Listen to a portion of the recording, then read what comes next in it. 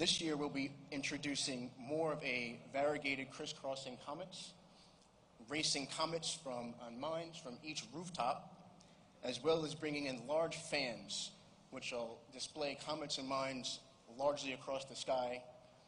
There will also be a, uh, excuse me, a countdown at the Resort World for Tiesto. And while that is happening, we will ha- have all other seven rooftops synchronized with the countdown.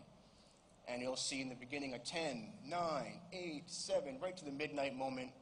And once we get down to zero and we're down to 2023, January 1st, midnight moment, all eight properties will uh, be synchronized together in a beautiful moment.